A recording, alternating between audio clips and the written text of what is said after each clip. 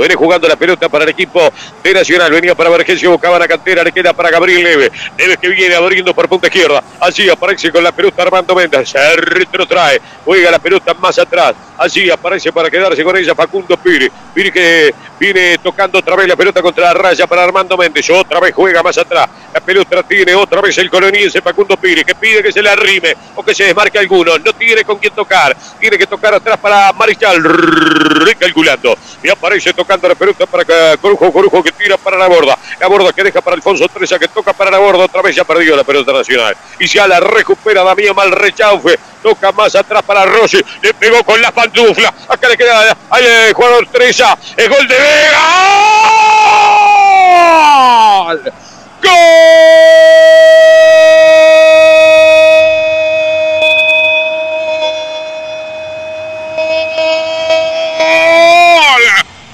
Nacional. Apareció Gonzalo Vega. Abrió bien Teresa una salida fallida del arquero de Rentista. Le quedó a Vega, le rompió el arco. Gana el bolso. El 11. Nacional 1. Rentista 0 Un partido que a Nacional no le estaba quedando cómodo, una mala salida de rentistas, una inteligencia de Nacional para jugarla, primero de su goleador, primero de Vergesio que habilita rápido a Treza, Treza que habilita muy bien a Vega. Y este que da un paso y le pega un zapatazo bárbaro, debuta en la red tricolor Vega, pide perdón por haber marcado el tanto, no lo festeja él, pero Nacional sí, porque se trepa la punta con este gol. El tiro libre que lo va a efectuar Gabriel Neves. Prefiere dejarlo para Marichal que ejectúe esta falta para el equipo tricolor. Ya los relojes marcan 43 minutos de este primer tiempo. Gran Nacional por 1 a 0 con gol de el eh, jugador Gonzalo Vega. Los 11 de fútbol acá el árbitro.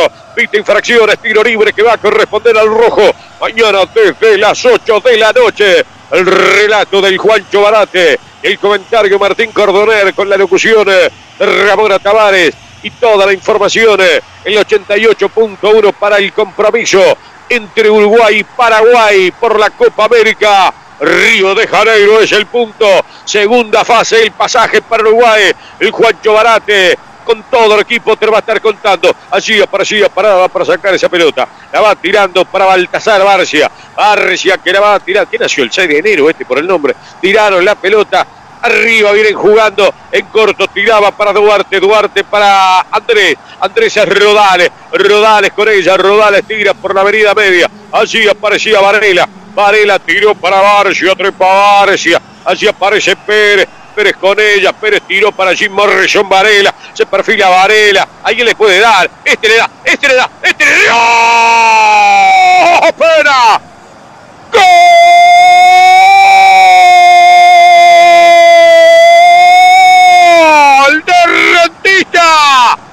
Le juro que la vi afuera. Le juro que la vi afuera. Gol de Rentista. Allí apareció el hombre del bicho colorado. El número 18 para pegarle Emiliano Villar. La puso abajo en la ratonera. Explícalo vos. Uno y uno.